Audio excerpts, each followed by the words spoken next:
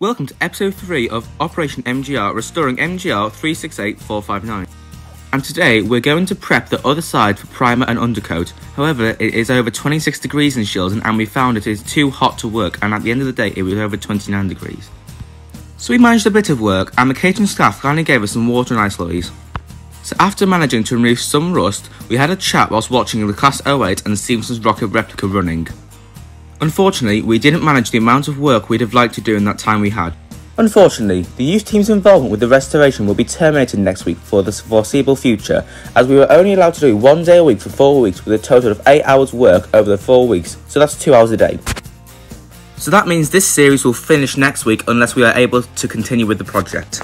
I hope you've enjoyed this series, and next week I will try and make the episode even better. Thank you and goodbye.